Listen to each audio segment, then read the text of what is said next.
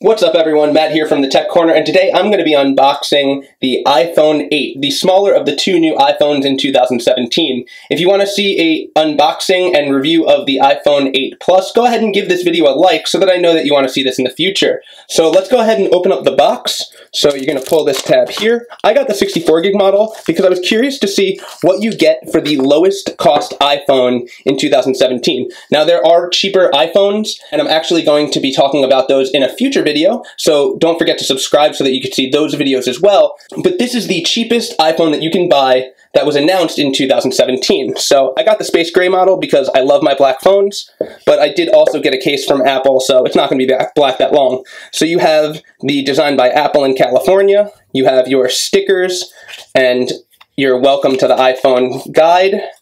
You have the iPhone itself. I'm just going to push this off to the side for a minute. So this is, I believe, a 5 volt charger, and this is not the fast charger. Even though the iPhone 8 is fast charging capable, this is not the fast charger. You need to buy that separately, and I'm not going to be testing that because I am only testing what comes in the box with the iPhone. And you also have your lightning earpods, so these are your regular earpods, but they connect via the lightning port because as we know, the iPhone 8 does not have a headphone jack. And on the back, you also have the lightning to 3.5 millimeter adapter. And then underneath that, you have your lightning cable. So let's take a look at that for a second. got plastic on the front and back. Looks pretty nice. It looks like an iPhone. So take that off. All right, so now you have a glass front, metal side, glass back.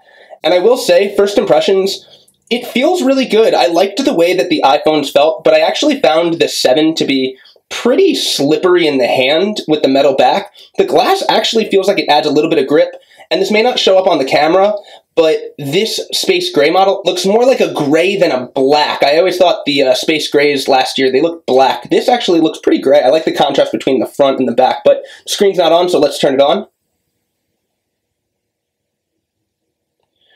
So just like the past couple years, it's the same resolution as past iPhone 7s and 6s and 6Ss since they introduced the 4.7 inch size. So it's the same resolution, but it does have True Tone, which is supposed to automatically adjust the lighting and the white balance of the screen depending on the area that you're in. So now we're in the setup. That was actually pretty quick. I'm gonna go set this up. This was just a quick unboxing so that you could see what comes in the retail packaging of the new iPhone 8. If you like this video, go ahead and give it a thumbs up. If you have any questions or things that you want me to cover in my full iPhone 8 review, go ahead and leave them in the comments down below. And don't forget to subscribe so that you can see more videos like this and enter cool giveaways like my monthly Bluetooth speaker giveaway going on right now to the end of September. Thanks for watching everyone. This has been Matt here at the Tech Corner and I'll see you in the next video. Bye.